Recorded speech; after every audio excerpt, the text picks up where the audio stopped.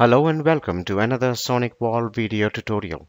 My name is MG Sriramaya, Security Engineering Escalation Group SonicWall. In this video, I'm going to show you how to configure dynamic route-based VPN using OSPF between SonicWall UTM appliances. These are the configuration steps. Create VPN policies in each SonicWall, create VPN tunnel interfaces in each SonicWall, configure OSPF in tunnel interfaces, create access rules, test the configuration. This is the network setup we follow for this video. We have an NSA 4500 on one side. Let's call it Site A.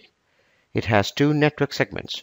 One of them is configured in the LAN zone and connected to the X0 interface and the other is in the DMZ zone behind the X2 interface. And here we have an NSA 220 wireless on the other side. Let's call it Site B. It has one network in the LAN zone behind the X0 interface. We will create a site-to-site VPN between these two sites. Then we will create a tunnel interface on each SonicWall and configure OSPF on each. Once the VPN tunnel is up, each site must learn routes from the other. I am logged into the management interface of the Site A SonicWall and I am on the VPN settings page.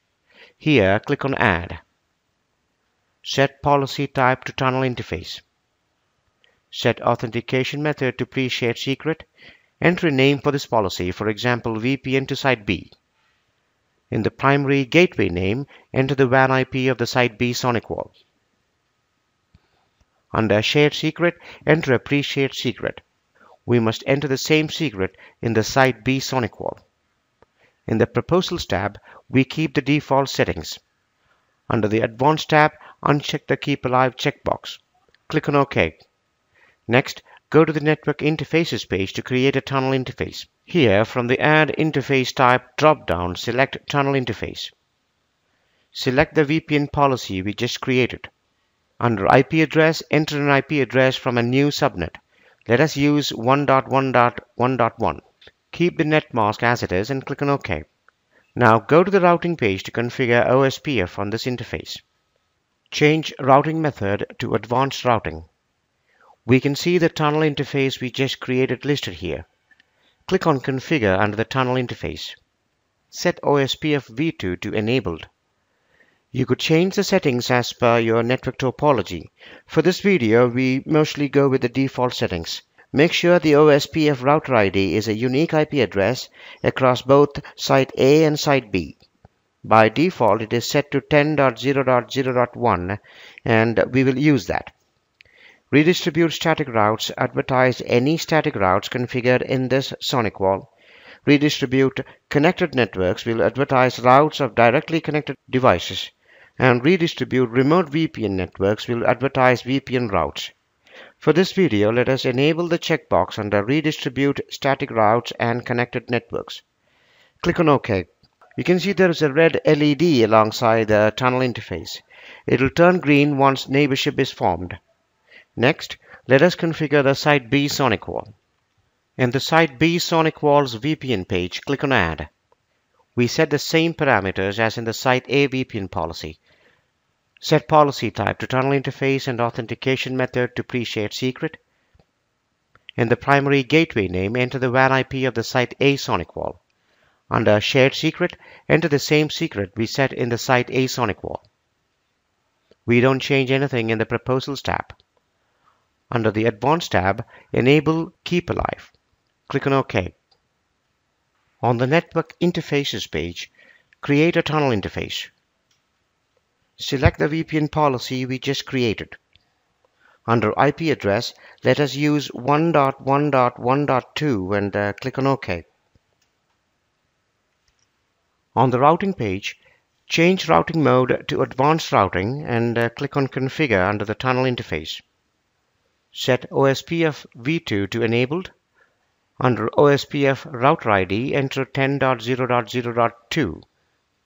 Enable redistribute static routes and uh, connected networks. Click on OK.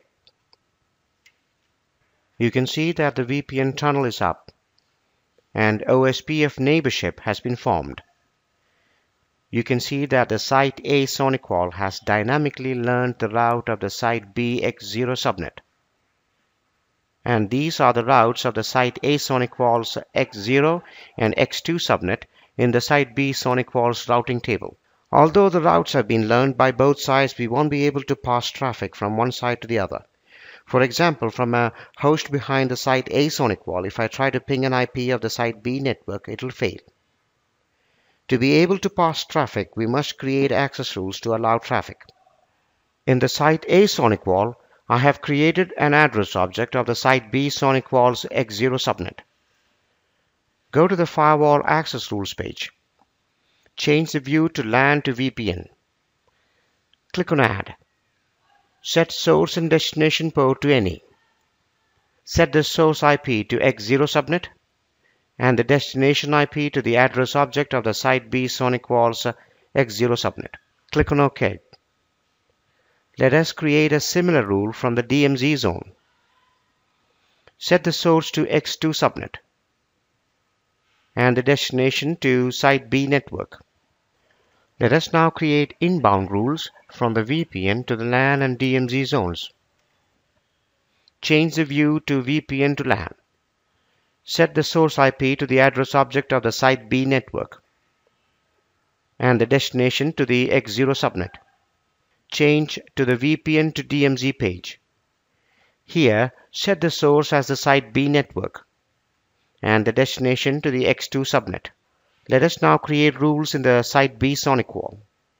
In the Site B SonicWall, I have created an address group called Site A Network and added address objects of the Site A X0 and X2 subnets to it. In the LAN to VPN page, click on Add. Set source as X0 subnet and destination to the address group Site A Network. Change to the VPN to LAN page. Here, set source to Site A network and destination to X0 subnet. Let us now test whether we can pass traffic between the sites. I have a ping going from a host behind the Site B SonicWall to a host behind Site A. And here I am pinging a Site B host from a Site A PC. And you can see I'm getting replies from both sides. This concludes this video on how to configure dynamic route-based VPN using OSPF between SonicWall UTM appliances.